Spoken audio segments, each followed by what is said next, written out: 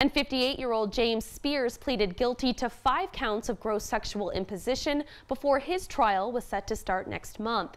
Five other counts were dropped as part of the plea deal. He admitted to having sexual contact with two female victims under 13 years old multiple times starting in 2014.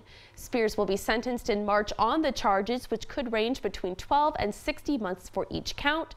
He'll also be labeled a Tier 2 sex offender.